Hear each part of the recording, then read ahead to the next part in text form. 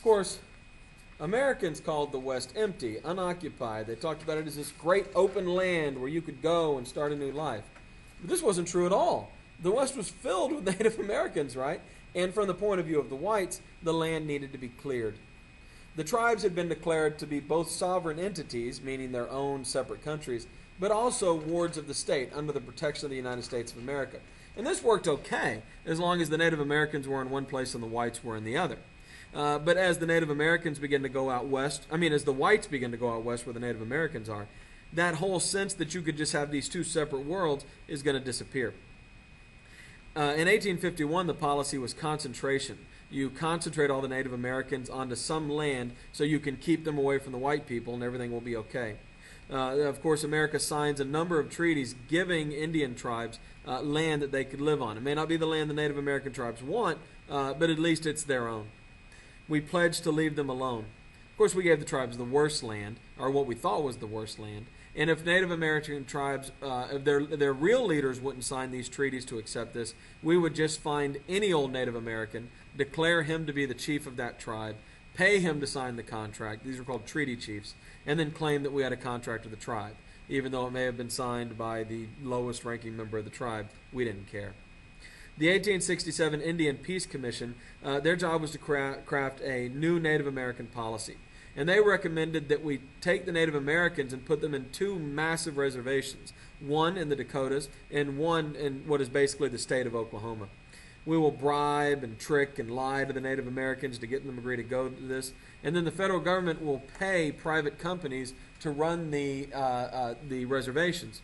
And the private companies will usually take we would pay them, you know, uh, so much per Native American. So they would get X number of dollars for every Native American. And they were supposed to be spending most of that money taking care of the Native Americans. But of course, their financial incentive was to spend as little money as possible providing for the natives so they could pocket the rest. And this is what they did. And there's lots of terrible incidents where they do things like feed rancid meat to the Native Americans or not give them blankets in winter because they don't want to spend the money because if they don't spend the money, it goes in their pocket.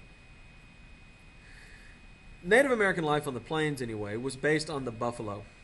And so Americans will figure out pretty quickly if you just kill all the buffalo, you'll destroy the Native American way of life. And so buffalo will be hunted by everyone professionals, amateurs, even uh, passengers on trains on the transcontinental railroads will just take their rifles out and just shoot the buffalo for fun, for no good reason. Everyone is killing a lot of buffalo. Buffalo Bill Cody, who had his Wild West show I mentioned before, uh, was said to kill 100 buffalo a day or more uh, during his peak.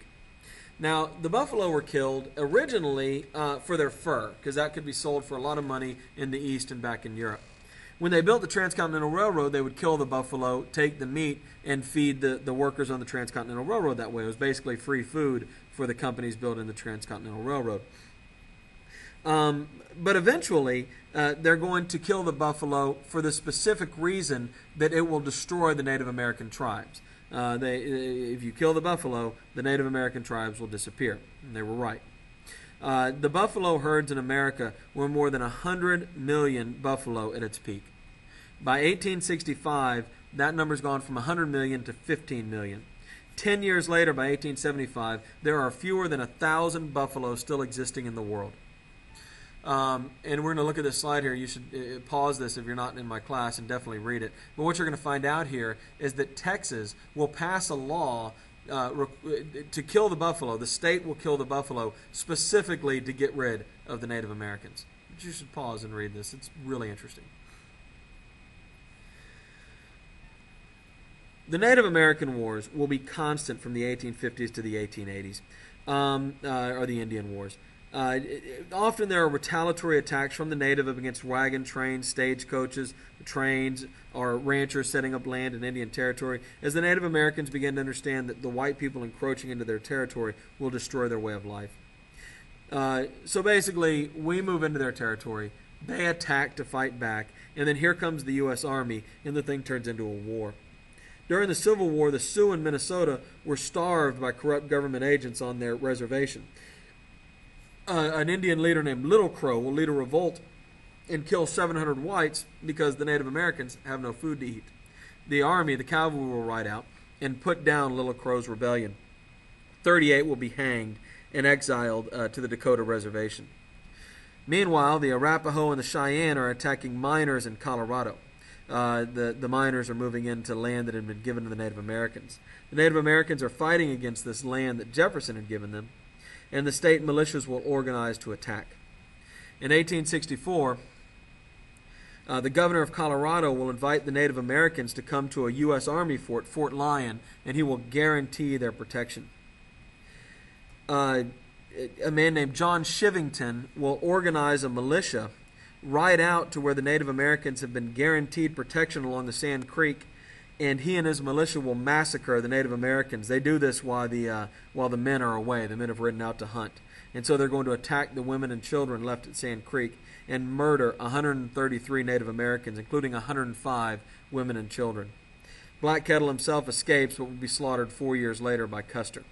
Uh, when asked why he did this, uh, uh, uh uh, will give the, the chilling response. or I'm sorry, when asked why he killed the children. By the way, they didn't want to waste bullets, and so they beat the children's heads open uh, smashed them open with the butts of their guns so they didn't have to wait bullets. When said, Why did you go through such pains to make sure all the children were killed? Chivington will say, Nits breed lice. Nits are the little eggs that hatch into lice.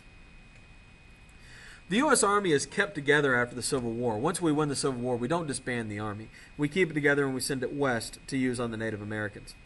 Uh, in Montana, the, the great chief Red Cloud will fight against the construction of the Bozeman Trail, a trail for miners that is going through his area and white vigilantes will be paid by the government to hunt Native Americans. Uh, you, if you were a white man, you could kill a Native American, cut off the front part of their scalp, and turn that in for cash. Uh, the name of this is called a redskin. Uh, so if you uh, wonder why sometimes people get upset about the name of the Washington Redskins, it's not because it refers to Native Americans. It's because it refers to the part of the Native American scalp you cut off to turn into the federal government for money. You also probably thought the Native Americans were the ones that scalped whites. That's wrong. It's whites who scalp Native Americans. Sometimes white uh, Native Americans do it in retaliation. It was common belief among whites of the time that Native Americans were inhuman and must be exterminated.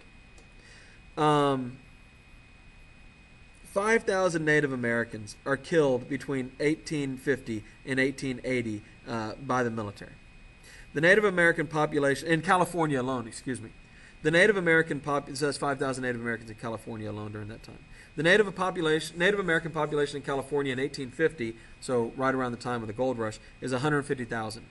20 years later, it's under 30,000. It's decreased by 120,000 in 20 years. Uh, that is to say, what's that, uh, 6,000 a year? That's a lot of people, man.